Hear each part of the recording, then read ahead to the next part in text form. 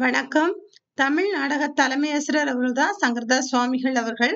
திருமணமே இன்றி துறவு வாழ்க்கையை மேற்கொண்டவங்க. சங்கரதாஸ் சுவாமிகள் இயற்றிய நாடகங்களை தான் முழுமையான முறையில எளிமையா பார்க்க போறோம். ஏழு ஒன்பது ஆயிரத்தி எண்ணூற்றி அறுபத்தி ஏழுல பிறந்தாங்க. ஏழுக்கு அடுத்து நம்ம எளிமையா ஏழுல தான் முடியும் அப்படின்னு ஞாபகத்துல ஆறு ஏழு ஏழு அடுத்து எட்டு ஒன்பது அப்படின்னு சொல்லிட்டு இதை கூட எளிமையா ஞாபகத்துல வச்சுக்கலாம். பதிமூணு பதினொன்னு ஆயிரத்தி தொள்ளாயிரத்தி இருபத்தி ரெண்டு பதினொன்னு இருபத்தி ரெண்டு அடுத்து இங்க மூணு போட்டு பதிமூணுன்னு கூட எளிமையா வருஷத்தையும் ஞாபகத்துல வச்சுக்கலாம். நாடக குழுக்களையும் ஏற்றிருக்காங்க. என்னன்னு சொன்னா பாய்ஸ் கம்பெனின்னு சொல்லிட்டு நாடக குழுவும் சமரச சன்மார்க்க நாடக சபையும் இயற்றியிருக்காங்க ஏற்கனவே சொன்னேன் சங்கர சங்கரத சுவாமிகள் அவர்கள் வந்து துறவு வாழ்க்கையை மேற்கொண்டதுனால என்னன்னு சொன்னா பாய்ஸ் எல்லாம் ஒண்ணு சேர்த்து கம்பெனி போல இயக்கி நாடகத்தை குழுக்களை நிறுவினாங்க வ- அப்படின்னு கூட தொடர்படுத்தி படிச்சுக்கிடலாம். அப்ப பாய்ஸ் கம்பெனிங்கிற நாடக குழுக்க குழுவை நிறுவியவரும் சங்கரதாஸ் சுவாமிகள் தான். சமரச சன்மார்க்க நாடக சபைங்கிற குழுக்களை நிறுவியதும் யாருன்னா சங்கரதாஸ் சுவாமிகள் அவர்கள் தான். என்னன்னு சொன்னா ஒரே இரவுல முழு நாடகத்தையும் எழுதி முடிக்கும் வல்லமை பெற்றவராக காணப்பட்டவர் சங்கதா சுவாமிகள் அவர்கள். அவ்வாறு ஒரே இரவுல எழுதி முடிக்கப்பட்ட நாடகம் எதுன்னு சொன்னா அபிமன்யு சுந்தரி. இது வந்து நம்ம நல்லா தெளிவா தெரிஞ்சிருக்கணும். அபிமன்யுங்கிறது நம்ம எல்லாருமே தெரிஞ்சிருப்போம். மகாபாரத கதையில அர்ஜுனனுக்கும் கிருஷ்ணன் சகோதரியான சுபத்ரைக்கும் பிறந்த மகன் தான் அபிமன்யு அப்படிங்கறத நம்ம தெரிஞ்சிருப்போம். அதனால மறக்க கூடாது. ஏன்னு சொன்னேன்னா மகாபாரத கதையோடு தொடர்புபடுத்தி தான் இந்த ஷார்ட்கட்டை நான் உங்களுக்கு அஹ், சொல்லி கொடுக்க போறேன். என்னன்னு சொன்னா அபிமன்யுடைய அப்பா பேர் என்னன்னு சொன்னா அர்ஜுனர். அர்ஜுனருக்கும் சுபத்ரைக்குன்னு சொன்னேன்ல அப்போ அல்லி அர்ஜுனா.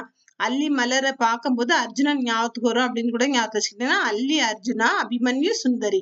இந்த ரெண்டையும் இணைச்சு இணைச்சு படிச்சுக்கணும். என்னன்னா அபிமன்யு வந்து என்னன்னா சதி பண்ணி தான் என்ன செய்வாங்கன்னு சொன்னா குருசேத்திர போர் பதிமூணாம் நாள் நடக்கும்போது கௌரவர்கள் என்ன செய்வாங்கன்னா ஒரு சக்கர வியூகம் அமைத்து அதுல வந்து அபிமன்யு அனுப்பிடுவாங்க அப்போ சதி அனுசிய ஒரு சதிய செய்துதான் அபிமன்யு அனுப்புனாங்க.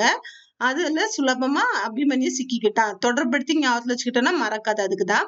அப்ப அல்லி அர்ஜுனா அபிமன்யு சுந்தரி சதி அனுசியா சதி ஸ்லோச்சனா அடுத்து என்னன்னு சொன்னா சிறு தொண்டர்கள்லாம் அந்த இடத்துல என்னன்னு சொன்னா கொஞ்சம் கூட மனிதாபிமானமே இல்லாம தீனி தின்னு உடம்பு உழைத்த மாதிரி இருந்தாங்க அப்படின்னு கூட ஞாபகத்துல சிறு தொண்டர் சீமன் தீனி சீமன் தீனி.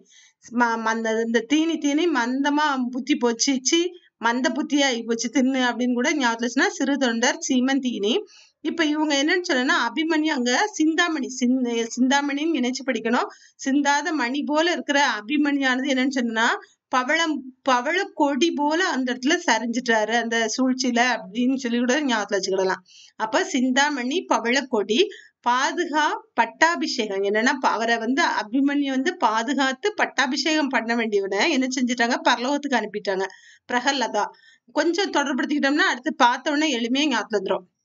அப்ப இது விளத்தையும் முதல்ல ஞாபகம் வச்சுக்கணும் அல்லி அர்ஜுனா அபிமனி சுந்தரி சதி அனுசியா சுத சதி ஸ்லோச்சனா சிறு தொண்டர் சீமந்தீனி சிந்தாமணி பவளக்கொடி பாதுகா பட்டாபிஷேகம் பாதுகா பட்டாபிஷேகம் பிரகலாதா.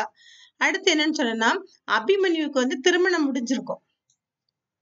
அப்போ பார்வதி கல்யாணம். என்னன்னு சொன்னா கல்யாணம் முடிஞ்ச உடனே என்னன்னு செஞ்சுட்டா ரோமியோ ஜூலட் போல வாழ வேண்டியவன். எப்படி கோவலன் வந்து கண்ணகியை பிரிஞ்சு காணப்பட்டனோ அதே போல இந்த நேரத்துல என்னன்னு சொன்னா அந்த மனைவியானவள் என்ன செஞ்சா அபிமன்யு பிரிஞ்சு காணப்படுதா அப்படின்னு மாத்தி ஞாபகத்துல வச்சுக்கணும். பார்வதி கல்யாணம் ரோமியோ ஜூலட் கோவலன். அடுத்து என்னன்னா சத்தியவான் சாவித்ரி. அவ வந்து ஒரு சத்தியமான சா- கல்யாணம் முடிச்சு சாவித்ரி போல வாழ வேண்டிய நல்ல தங்காளா இருந்தவா. சிம்பலின் லகுவசா. இத வந்து திரும்ப திரும்ப சொல்லிச்சுக்கோங்க. ஒரு சிம்பிளான இதுல மாட்டிக்கிட்டான் லாவகமா மாட்டிக்கிட்டான் அப்படின்னு கூட சிம்பலின் லகுவசா. இது என்னன்னு சொன்னா இலங்கா தகனம். இதையும் ஞாபகத்துல வச்சுக்கணும்னு சொன்னா ராமாயணத்துல சீதையை வந்து ராவணன் கவர்ந்து சென்ற உடனே இலங்கையவே ராமன் என்ன செய்ய அழிக்கிறதுக்கு காரணமா இருக்கும். அதே போல இந்த இடத்துலயும் அபிமன்யுட அப்பா வந்து என்ன அர்ஜுனன் சொன்னா அந்த அர்ஜுனன் ஆனவர் என்ன சொன்னாங்கன்னா அந்த பாண்டவர்கள் வந்து ஆஹ் போட்ட அந்த வியூக சக்கரத்துல உட்புக இல்லாதபடி அதை வந்து இவர் யாருன்னா ஜெயிச்ச ஜெயத்ரதன் சொல்லி ஒருத்தன் தான். அப்ப அவனை வந்து அடுத்த நாள்ல நான் என்ன செஞ்சிருவேன்? கண்டிப்பா கொல்லாம விட மாட்டேன். மறுநாள் ப- போர்ல அப்படின்னு சொல்லிட்டு சபதம் எடுப்பாரு அர்ஜுனர். அப்ப என்னன்னு சொன்னா அங்க இலங்கா தகனம் ஆன மாதிரி இங்க என்னன்னு சொன்னா ஜே ஜேத்ரனை வந்து என்ன அர்ஜுனன் வந்து தீர்த்து போர்ல வந்து கொன்றுவேன் அப்படின்னு சொல்லிட்டு சொல்றான் இந்த கதையை ஞாபகத்துல வச்சுட்டோம்னா நம்மளுக்கு மறக்கவே மறக்காது. ஒண்ணுக்கு ரெண்டு நேரம் கேட்டு பாருங்க. கேட்டீங்கனாலே எளிமையான முறையில என்ன செஞ்சிடலாம்? ஞாபகத்துல வச்சு தேர்வுலையும் கேள்வி கேட்டு சரியான பதிலை எழுதி வெற்றி பெற முடியும். வாழ்த்துக்கள்.